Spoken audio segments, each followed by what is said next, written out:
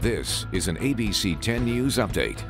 Hello, I'm Jim Patton with this ABC 10 News Update. Big change by the state to its vaccine policy. California is now requiring COVID vaccinations for all healthcare workers without the option to opt out and undergo weekly testing instead. Healthcare workers in the state will have to be fully vaccinated by the end of September. The only exemptions are for religious or medical reasons. Those looking for a medical exemption must provide a written statement signed by a physician. As COVID cases keep rising, the county is opening up another free walk-up testing site today.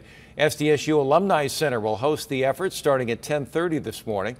This is the third large capacity testing center. The others are at Cal State San Marcos and the Tubman Chavez Center. The SDSU and San Marcos locations are open Tuesday through Saturday, and the Tubman Chavez Center is open Sunday through Thursday. Hours of operation for all three are 10:30 to 5:30 honoring the legacy of two black educators who overcame adversity in the 1940s.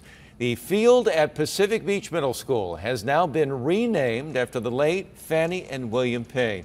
The field will be open to the public as a park when school is not in session. Fannie was a well-respected teacher in the San Diego Public Schools and was an SDSU alumna. William was the first black teacher at Pacific Beach Junior High and had a long, distinguished career in public education.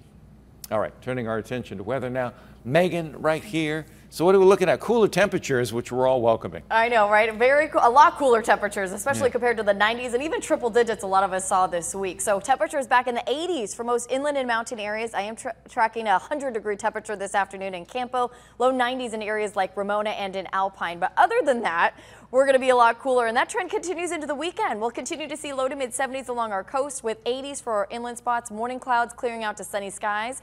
We will start to see temperatures going up again by midweek next week and monsoon moisture also set to return next week. Most noticeable in the mountain and desert areas could start to see that potential for some mountain showers and thunderstorms next week. Jim? All right, Megan, thank you very much. And for the latest news, weather, and traffic, go to 10news.com or download our free 10 News app in your app store. For ABC 10 News, I'm Jim Patton.